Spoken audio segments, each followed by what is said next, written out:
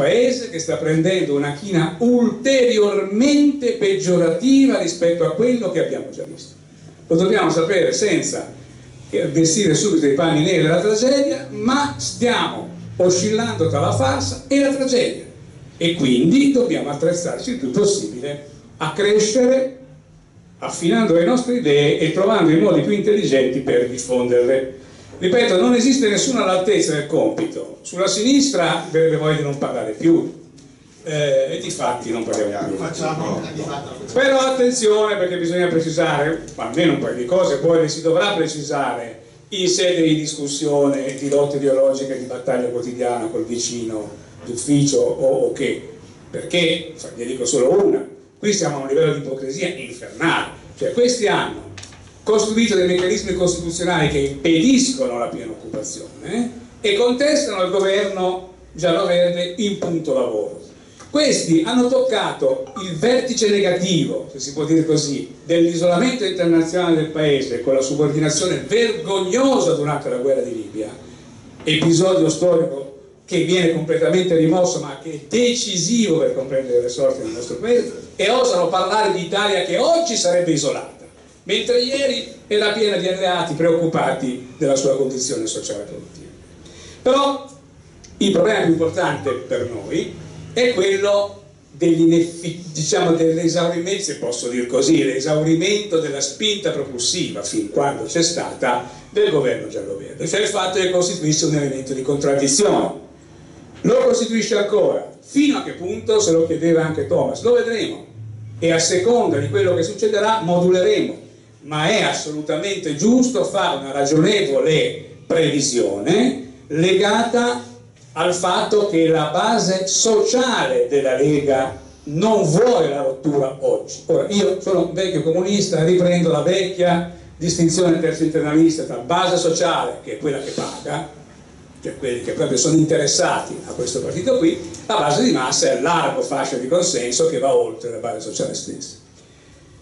La base, sociale, la base di massa della Lega sicuramente soffre, anche se forse meno di quella insomma, dei 5 Stelle, della crisi, no? e, ma la base sociale, la finanziatrice, in realtà in questo momento vorrebbe passare all'incasso, vorrebbe passare all'incasso del decreto sblocca cantiere, guardate che è di grossa importanza, vorrebbe passare all'incasso della flat tax anche in misura ridotta, perché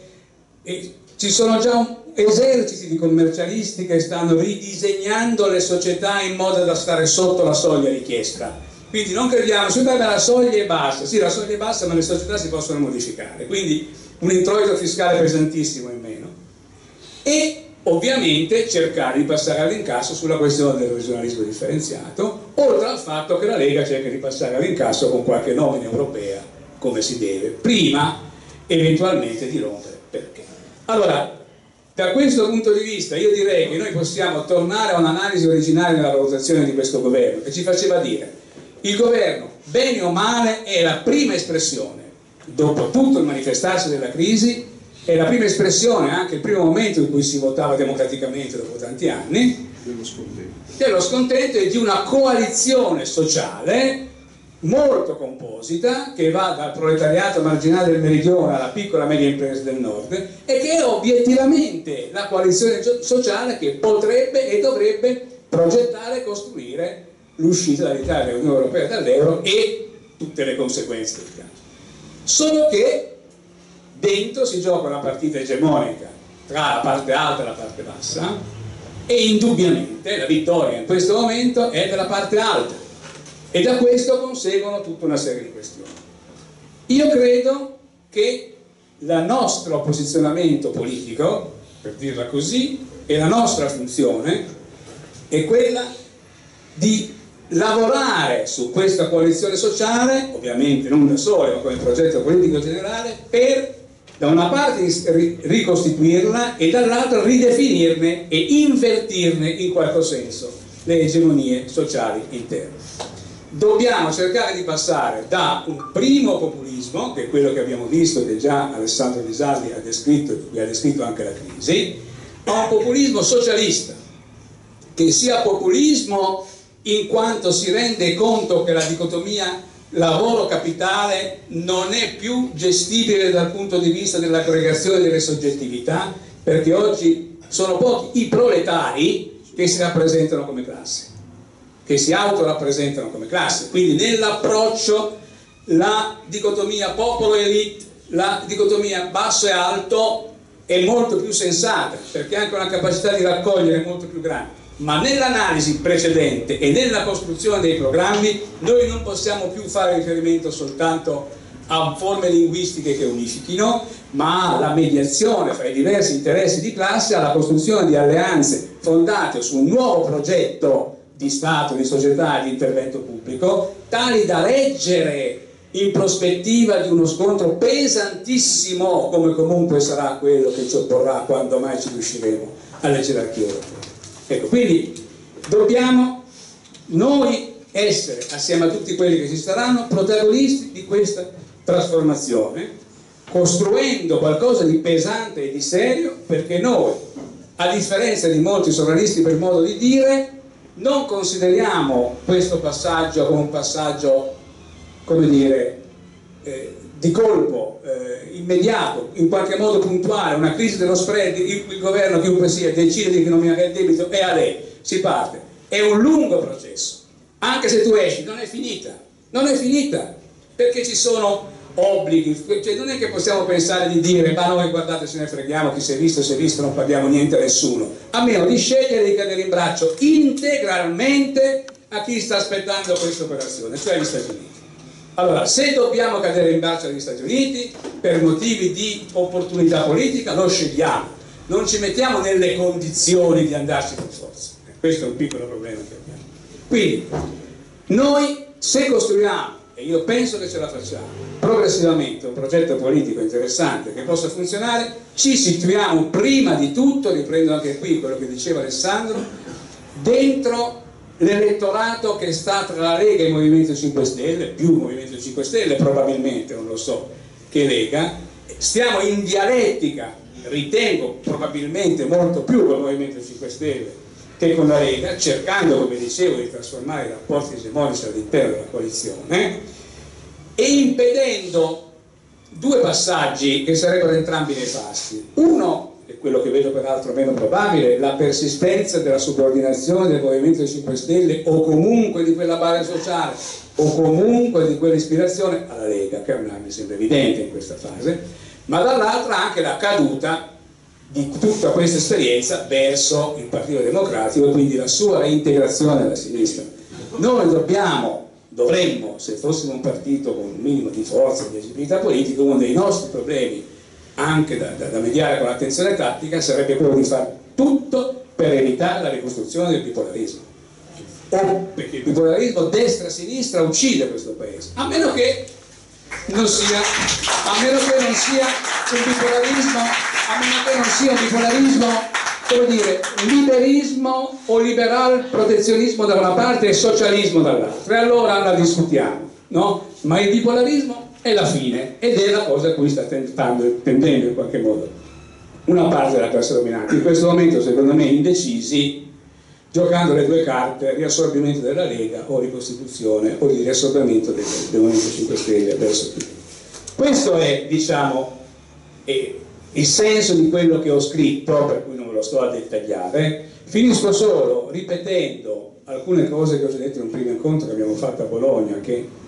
ripetendo e precisando. Allora, che cosa dobbiamo fare noi immediatamente? Adesso avremo una serie di cose molto importanti, perché poi tutte queste parole, se non si traducono presto in passaggi tecnici anche, tra virgolette, o comunque fattivi operativi che ci portano verso qualcosa di più definitivo, eh, diventano poi anche inutili. Insomma, come diceva, mi fa una citazione aulica, il vecchio Brecht, le conoscenze sono palle di neve, se le tieni in mano troppo spesso, troppo a lungo prima di tirarle, poi si sciolgono e qui, come vedete, insomma abbiamo pochissimo tempo. Allora, la prima cosa, la prima cosa è valorizzare quello che siamo. Questo è un gruppo fatto da persone con diversa esperienza politica, un'esperienza politica intensa e di ottimo livello intellettuale, non ce ne dobbiamo vergognare. Eh? Elite, popolo, però insomma, c'è molta gente che viene dal popolo, siamo quasi tutti che vengono dal popolo, ma abbiamo la nostra bella testolina, puntini puntini. Allora, prima di tutto valorizziamo, ma valorizziamo, ecco qui le cose che dirò adesso, due o tre cose per finire, sono anche un modo per cercare di, di rompere concretamente con la cultura di sinistra da cui veniamo. Valorizzare le competenze. Da una parte significa non fare occasionalmente i processi di formazione. Noi, soprattutto perché guardate, noi abbiamo di fronte un compito pesantissimo, io continuo a ripeterlo, stiamo cercando di invertire una tendenza ottantennale, diciamo così, di un paese alla subordinazione internazionale. Quindi abbiamo bisogno di essere ferratissimi nelle cose che diciamo. Credo che, e su questo i lavori di Thomas sono eccellenti, abbiamo bisogno di una formazione di tipo catechistico, nostra, dei nostri militanti, dei nostri quadri, sulla questione dell'Unione Europea, su tutte le questioni dell'Unione Europea, sia per l'importanza della cosa in sé, e sia perché in realtà riassume questa questione tutte le questioni più importanti teoriche che abbiamo di fronte, che cos'è il liberismo, che cos'è lo Stato, che cos'è l'ipotesi del socialismo, cosa sono i rapporti internazionali, quindi sicuramente dobbiamo utilizzare quello che già abbiamo. Poi l'altra cosa che dobbiamo fare, sempre in termini di intelligenze, abbiamo chiacchierato un po' su come, come, organizzare dopo, la mia non è una polemica con quello che abbiamo detto prima, prima insomma, quando ci siamo sentiti, è un contributo al dibattito. Io sarei per evitare come la peste i comitati scientifici. I comitati scientifici sono gruppi di intellettuali di altissimo valore, di ottime intenzioni, che vengono messi lì dalle direzioni del partito, fa breve, come si dice a Napoli, e poi non c'è nessuna interazione no, fra le due cose. No, questo in genere, in genere quello che succede. Né il politico commissiona all'intellettuale, perché ha paura di rompergli le scatole, una particolare ricerca su un particolare problema, né l'intellettuale esprime fino in fondo i dubbi teorico-politici su alcune scelte del partito perché poi sembra brutto. Allora noi dobbiamo fare un'altra cosa. Ci sono, faremo, indicheremo tutti i compagni di alto livello intellettuale che sono con noi, eccetera, però noi abbiamo bisogno di organizzare gruppi di analisi tematica e decidere come su questi punti utilizzare le nostre competenze sollecitare competenze altrui, che è anche un modo per costruire alleanze, e lavorare sui temi che noi riteniamo essere decisivi. Io ne dico tre. Il primo, ritorno sul, sul approfondire quello che Carlo e Alessandro hanno già fatto. Noi non conosciamo la società italiana, pochi la conoscono, forse nessuno, perché non ci sono più partiti di basso di una volta. Allora noi nel momento in cui cerchiamo di costruire, secondo me in maniera sperimentale, quando cercheremo di costruire un'organizzazione penso che avremo diversi modi possibili di farlo, ma proprio nel momento in cui noi cerchiamo di costruire questa, questa organizzazione dobbiamo avere la capacità di porre delle domande concrete ai nostri interlocutori sociali per capire come va questo, questo, paese per capire non solo la composizione di, di, classe così come viene dalle statistiche, ma anche come vive nelle domande che si pone, nelle interazioni quotidiane con gli altri. Abbiamo bisogno di un lavoro di analisi sociale, difficile da fare. Si possono fare dei focus, si possono fare degli elementi, però eh, sì, i pensieri oggi, pensieri oggi che insomma è un bel salto, ma L'altra cosa, e questa invece è nuova, ma è una mia ossessione, ma guardate che credo era anche una delle poche cose giuste che diceva Ginsburg nella sua storia d'Italia, quello che noi dobbiamo cominciare a conoscere oggi, non domani, quando forse stiamo vicini al governo, è come funziona lo Stato italiano, come funziona l'apparato di Stato italiano ai vertici, nei ministeri, nelle regioni, nelle province nei comuni. E lo dobbiamo fare intrecciando già da adesso rapporti con forze intellettuali forze amministrative, elementi interni a questi apparati interessati a un lavoro dignitoso, interessati a far bene il proprio lavoro di rappresentanti amministrativi, sulla passata in termini del popolo italiano. Ci sono, è un modo sia di, di, di capire le cose come si svolgono adesso, è un modo di costruire alleanze, è un modo di non essere ammazzati appena si arriva lì, perché si viene ammazzati cioè il Movimento 5 Stelle se l'è andato a cercare, ma è lì che è finito anche. Cioè, da quello che so dall'interno c'è un'incapacità di gestire i livelli medi di presenza amministrativa nei ministeri che fa impressione, anche solo per dire, costruire alleanze, cominciare a fare iniziative, avvelenare i pozzi prima di andarsene, come dire, cioè così si fa, così si dovrebbe fare. per carità non l'abbiamo fatto neanche noi come rifondazione comunista quando ci siamo andati, ma avendoci cozzato la faccia, se tu non hai già adesso un'idea di controamministrazione e alcuni alleati interni all'amministrazione, volendo gestire una battaglia come la nostra, che non è semplicemente spostiamo qualche equilibrio, appena arrivi, diciamo che quantomeno devi pagare dazio non di, di, di 50 ma di 500 e ti distruggono. Ultima cosa su, che, per cui secondo me noi abbiamo bisogno di sviluppare le nostre capacità intellettuali in maniera particolare è quella della politica estera. Noi non ne parliamo, non ne parlano neanche gli altri, ma gli altri non ne parlano a ragion veduta perché hanno rinunciato ad avere nessun'altra politica estera che non sia il stiamo dove stiamo, che poi dove stiamo non si sa perché tutto sta cambiando, no? stiamo lì dove vanno gli altri perché è la vecchia eh, come dire, istruzione base del Ministero degli Esteri, che dava ai suoi ambasciatori anni fa, ma credo che sia più o meno adesso, comportarsi secondo le ultime direttive del governo italiano, in assenza di direttive comportarsi secondo le direttive degli alleati maggiori. Punto. Questo ormai è la velina di base. Punto. Ma per noi sarebbe colpevole non analizzare queste dinamiche, sarebbe colpevole non sapere come si muove il rapporto tra Germania e USA, dovendo noi cozzare contro entrambi e vedere se riusciamo a uscire dall'alternativa tra padella e brace perché padella, brace e culo brucia allo stesso modo quindi,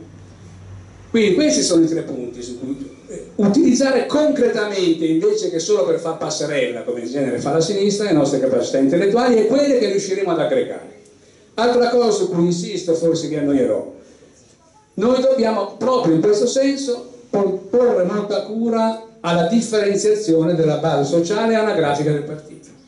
abbiamo del partito, scusate mi è scappato il tempo, quello, ma quello volevo dire, abbiamo bisogno di sovrarappresentare proprio quegli strati sociali che noi diciamo essere la forza propulsiva della ripresa del paese perché sono i più disperati.